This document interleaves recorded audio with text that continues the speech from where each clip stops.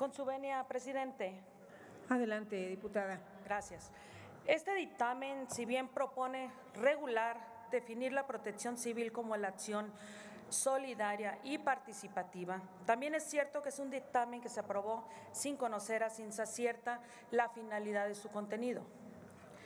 Se está dejando al Poder Ejecutivo como la única autoridad responsable en materia presupuestaria y de gestión de riesgos, desplazando a los poderes locales, lo que limita la participación activa en la prevención de desastres.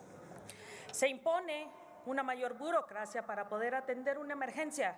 Por ejemplo, si se desea hacer una colecta de ayuda para damnificados, se deberá obtener una autorización para decidir el criterio de uso y destino y quién deba recibir ese apoyo.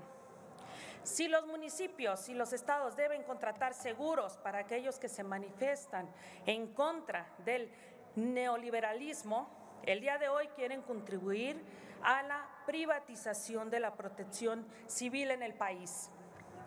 Esta propuesta establece que las amenazas antrópicas no se cubrirán con recursos presupuestarios y únicamente se sujetará a las disposiciones de la responsabilidad civil en el ámbito de su competencia.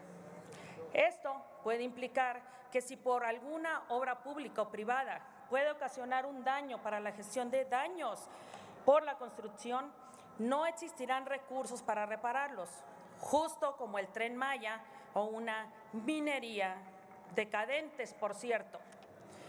Aquellos que piden transparencia en una de las funciones más nobles de la función pública, como lo es protección civil, son los mismos que tienen protegidos bajo el nombre de seguridad nacional los temas de gasto general mayor en obras faraónicas, que no aperturan el cómo se gastan los recursos públicos en dichas obras y hoy vienen a solicitar transparencia en el fondo de la nobleza más amplia a nivel nacional. Es decir, el gobierno sí pide transparentar los donativos, pero no transparenta los recursos destinados a sus grandes obras y reserva contratos por muchos años. Siendo presidenta municipal, tuvimos grandes incendios, tres colonias en el municipio de Tecate. El Fonden tardó un año en llegar y era 2019.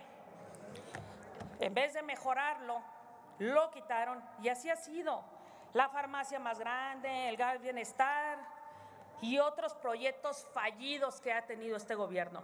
Entonces, atan de manos a la población que quiere ayudar. Ahí tenemos, por ejemplo, el tema de Acapulco, que dicen inmediatamente llegó la ayuda. Eso no es cierto. Y todavía pueden ir a Acapulco y constatar que gente no le ha llegado la ayuda y que se construyó de forma inmediata y es puro discurso, es pura palabrería que vienen a decir aquí y al final echan su discurso de campaña.